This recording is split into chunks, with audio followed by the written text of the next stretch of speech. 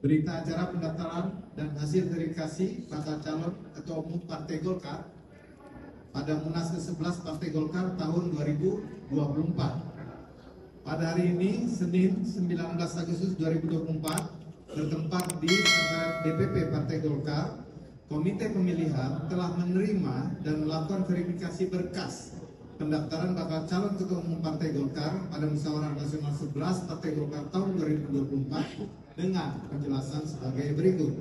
Satu, Komite pemilihan telah membuka pendaftaran bakal calon ketua umum pada tanggal 19 Agustus 2024 mulai pukul 16 sampai dengan pukul 22.00. Kedua, dalam tenggang waktu pendaftaran tersebut, Komite pemilihan menerima dua orang bakal calon ketua umum yang mendaftar atas nama satu Ridwan Hisam, dua Bahlil Laha Dalia. Tiga, Komite Pemilihan telah melakukan verifikasi berkas persyaratan bakal calon ketua umum Partai Golkar yang telah mendaftar.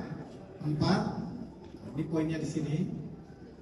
Berdasarkan hasil verifikasi berkas dan persyaratan bakal calon, Komite Pemilihan menyatakan A. Berkas pendaftaran bakal calon atas nama Ridwan Hisam dinyatakan tidak memenuhi persyaratan sebagai calon ketua umum Partai Golkar pada Munas 11 Partai Golkar tahun 2024. B. Berkas pendaftaran bakas, bakal calon atas nama Bahlil Lahadalia dinyatakan lengkap dan memenuhi persyaratan sebagai calon ketua umum pada Munas ke-11 Partai Golkar tahun 2024.